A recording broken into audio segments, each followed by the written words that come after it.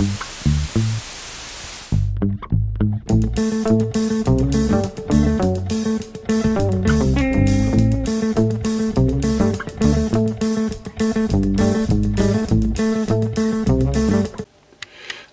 fermiers, amis fermières, bonjour, bienvenue à la ferme, bienvenue sur Cocotte TV. Aujourd'hui, petite vidéo de présentation d'un casque que vous connaissez, l'HyperX Cloud Revolver.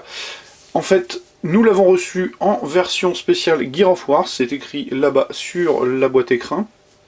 Et en l'occurrence, on va retrouver un produit très très similaire, pour ne pas dire quasiment équivalent à l'HyperX Revolver de base, si ce n'est que il a deux trois petites spécificités esthétiques essentiellement euh, qui vont lui permettre de se démarquer un petit peu du revolver classique.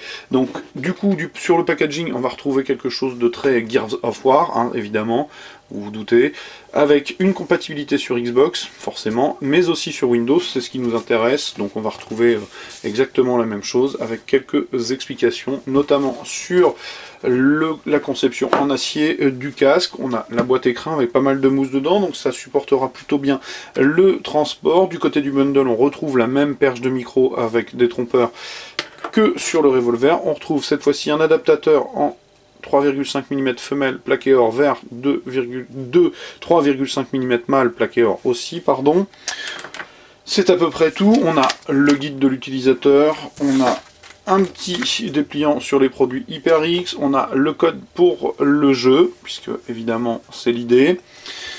On a le casque que vous connaissez, donc je vais passer assez rapidement. On retrouve donc cette conception tout en acier.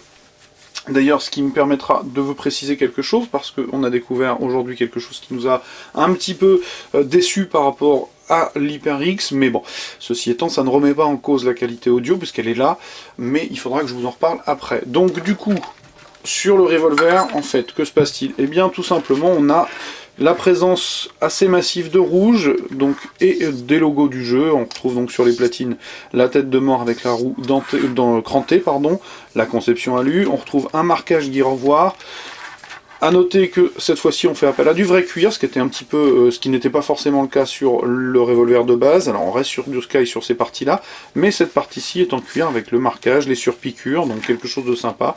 On conserve quelque chose avec les fils d'alimentation gainés qui passent par l'extérieur, le système de suspension qui amène un casque très confortable, mais ça je l'ai déjà dit.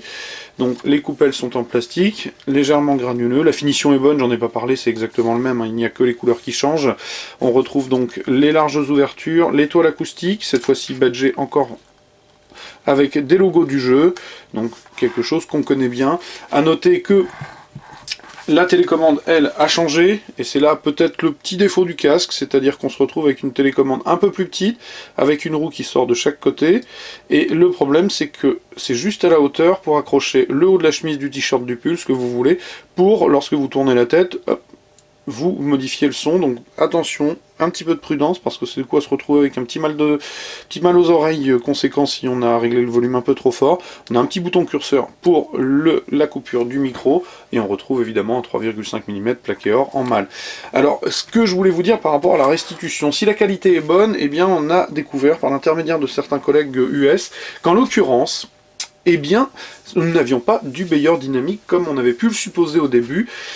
Il s'avère que, euh, en fait, euh, Kingston ou HyperX s'est tourné vers quelqu'un qui s'est très très très largement inspiré de Bayer Dynamic, à tel point euh, qu'on avait, les mêmes caractéristiques techniques, le même look sur le Cloud et le Cloud X précédemment, et qu'en l'occurrence, eh bien, ce n'est pas le cas. On n'a pas du Bayer Dynamic, on a pour le coup une marque un peu moins connue, j'ai envie de dire, qui s'appelle Takstar. Ça ne remet pas en cause les caractéristiques techniques, puisqu'on regarde toujours un spectre très très large qui court de 12 Hz à 28 000 Hz, j'étais en train de revérifier, une, euh, comment, une sensibilité qui opte pour 104,5 dB, ce qui est plutôt pas mal, et sur une impédance de 33 ohms, donc on conserve des spécificités qui sont exactement celles de Bayer, pour être clair, donc on a une énorme inspiration sur Bayer, et là où je suis un peu déçu, c'est que euh, du coup dans les CP, il n'y avait pas vraiment de volonté de démentir cette petite... Euh, euh,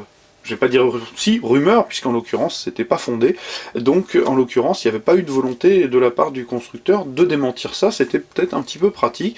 Ça ne remet pas en cause la qualité audio que je trouve toujours aussi bonne, mais un petit peu de déception sur l'honnêteté par rapport à cet aspect. Maintenant, ça reste un casque sympa. Celui-ci, j'aime bien le look, certains n'aimeront pas. La réalité, c'est qu'il prend 10 euros, ce qui au regard du prix du jeu, de l'apparition de cuir, etc., semble correct. Ce qui est un peu dommage, c'est que du coup, on est quand même à 139 euros maintenant.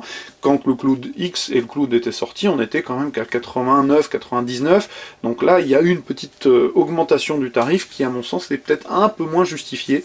À noter, un petit point que j'ai découvert récemment, je n'avais pas vu sur le Cloud, c'est que le châssis métallique a un petit défaut, c'est-à-dire que si vous l'effleurez, alors vous l'entendrez pas à la caméra, vous avez un doing métallique qui se répercute jusque dans la musique et dans les oreilles, donc pas bien méchant, mais c'est une caractéristique qu'il fallait citer, parce que euh, en général quand on tape dans un casque il se passe pas grand chose, on a un bruit sourd, sauf que là on a quasiment un bruit de cloche.